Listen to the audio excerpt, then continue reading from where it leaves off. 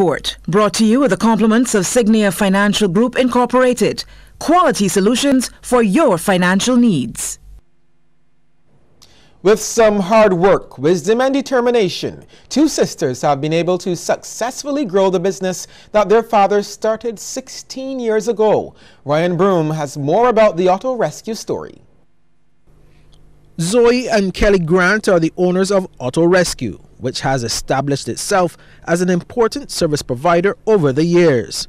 Managing Director Zoe Grant recalled the reason their father started the business. This is basically because he saw the need for ladies especially to have assistance on the road, say if they run out of fuel or have a flat tire. We did have an automotive garage and one of the customers one day had a flat tire and she called him and he left and went and assisted her and it dawned on him, you know, women out there do need, he was really thinking about the women, they do need assistance. Maybe this is something that we could get into. So the internet there, he went and researched it and whatnot realized we didn't have a service like that here. She says the company started by trying to sell its services directly to individuals, but eventually approached local insurance companies who saw the need to use it as a value-added service.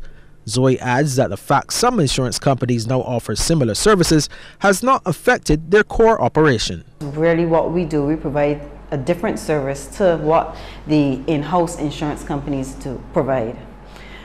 We first of all, we focus on customer service. So um, we're 24 hours. We do not miss a call. We respond to each and every person.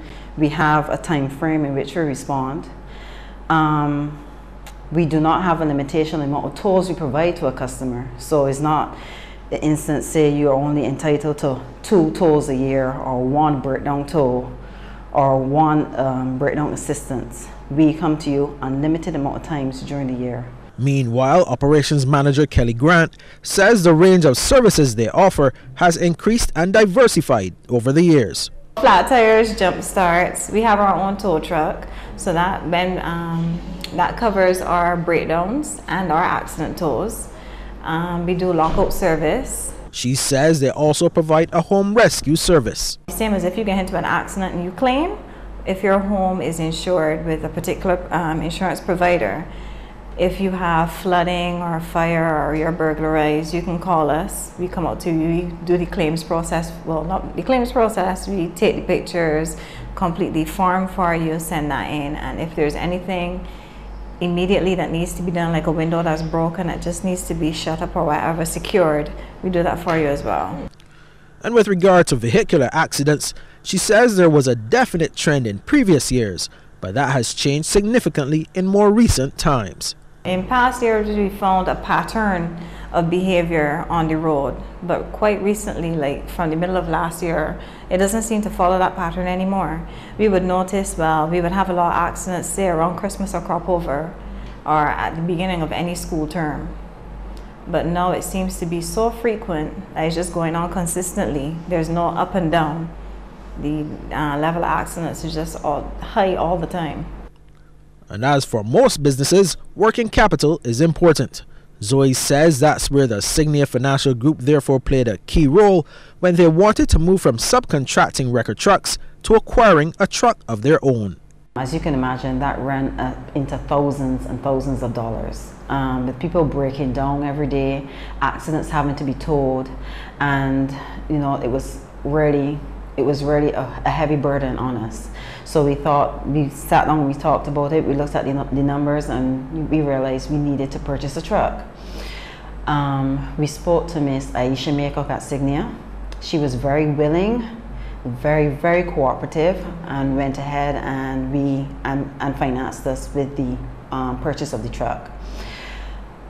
It has saved us thousands of dollars. And as for expansion of the business, Kelly says they currently provide services for Bryden's Insurance, Caribbean Alliance, Massy United, and Guardian General. She says thanks to those companies, they have been able to widen their operations to Antigua and Grenada. It has also resulted in an increase in the company's overall staff count to 15. Some of the companies that we're with here are also in Antigua and Grenada and they asked us to provide the service for them over there as well, which would then um, increase their client base.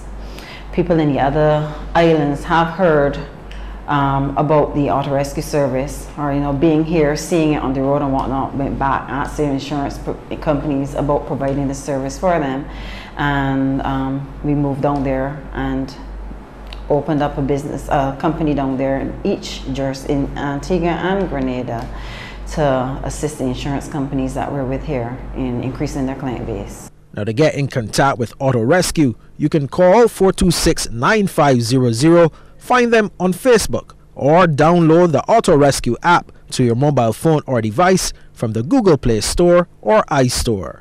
Ryan Broom for the Business Report. Time now to take a look at how stocks traded on selected exchanges across the region. In Jamaica, Cable and Wireless Jamaica Limited was the volume leader with 846,412 units, followed by JMMB Group Limited and the Jamaica Stock Exchange.